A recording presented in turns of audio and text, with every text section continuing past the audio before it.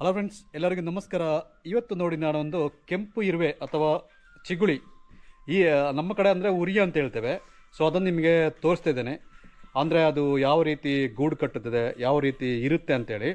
So ನಾವು ಅದನ್ನು ಇವಾಗ ನೋಡೋಣ. ನೋಡಿ ನಿಮಗೆ. ಸೊ ಸಾಮಾನ್ಯವಾಗಿ ನಿಮಗೆ ಮ, ಕಾಡು ಪ್ರದೇಶದಲ್ಲಿ ಮತ್ತು ಗಿಡಗಳಲ್ಲೆಲ್ಲ ಅದು ಗೂಡು ಕಟ್ಟಿ ಇರುತ್ತೆ ಅಂದರೆ ಆ ಇರುವೆ. ಅದನ್ನು ನೀವು ತೋರಿಸ್ತಿದ್ದೇನೆ ನೋಡಿ, ಅದೇ ಈ ಒಂದು ಕೆಂಪು ಇರುವೆ ನೋಡಿ. ಇಲ್ಲಿ ಈ ರೀತಿ ಇದೆ. ಇದು ವಿಶೇಷವಾಗಿ ಈ ಒಂದು ಇರುವೆ ಏನು ಮಾಡ್ತದೆ ಅಂದರೆ ಇದರ ಇದರ ದೇಹದಿಂದ ಬರುವಂಥ ಒಂದು ಲಾವರಸದಿಂದ, ಅಂದರೆ ಅದರಿಂದ ಒಂದು ಒಂದು ರೇಷ್ಮೆ ಥರ ಬರುತ್ತೆ ನೋಡಿ.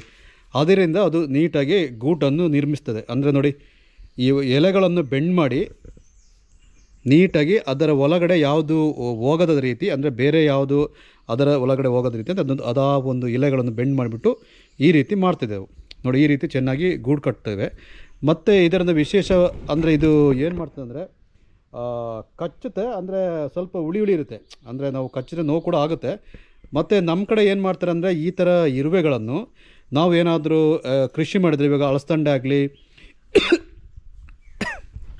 ಸೊ ಅದಕ್ಕೆ ಇದನ್ನು ಆ ಒಂದು ದೊಂಪ ಇಲ್ಲಾಂದರೆ ಆ ಒಂದು ಅಲಸಂಡೆ ಗಿಡಕ್ಕೆ ಇದನ್ನು ನಾವು ಹಾಕ್ಬಿಟ್ರೆ ಏನಾಗುತ್ತೆ ಅಂದರೆ ಅದರಿಂದ ಅದು ಪ್ರೊಟೆಸ್ಟ್ ಆಗುತ್ತೆ. ಅಂದರೆ ಅದು ಬರಲ್ಲ.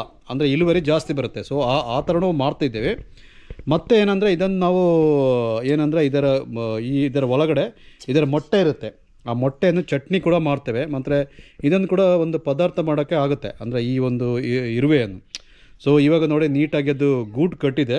ಅಂದರೆ ಇದರಲ್ಲಿ ನೋಡಿ ಈ ಒಂದು ಗೂಡು ಬಂದುಬಿಟ್ಟು ದೊಡ್ಡದಾಗಿ ತುಂಬ ಎಲೆಯನ್ನು ಬೆಂಡ್ ಮಾಡಿಬಿಟ್ಟು ನೀಟಾಗಿ ಅದು ನಿರ್ಮಿಸಿದೆ. ಸೊ ಮತ್ತೊಂದು ಕಡೆ ಏನಾಗಿದೆ ನೋಡು, ನೋಡಿ, ಇವಾಗ ಇಲ್ಲೆಲ್ಲ ನೋಡಿ ಒಂದೇ ಒಂದು ಎಳೆಯ ಮುಖಾಂತರ ಅದು ನಿರ್ಮಿಸಿದೆ. ಅಂದರೆ ಇದರಲ್ಲಿ ಇದರಲ್ಲಿ ಬಂದುಬಿಟ್ಟು ಇದು ತುಂಬ ಜಾಯಿಂಟ್ ಫ್ಯಾಮಿಲಿ ಇರಬೇಕು, ಅಂದರೆ ತುಂಬ ಸದಸ್ಯರು ಇರ್ತಾರೆ.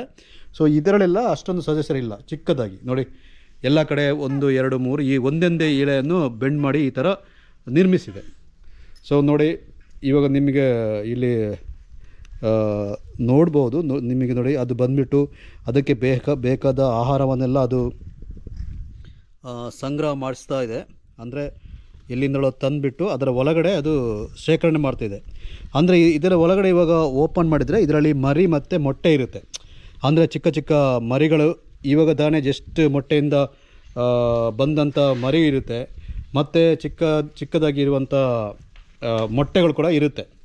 ಸೊ ನೋಡಿದ್ರಲ್ಲ ಫ್ರೆಂಡ್ಸ್ ಈ ರೀತಿಯ ಒಂದು ಕೆಂಪು ಇರುವೆಯ ಒಂದು ಗೂಡನ್ನು.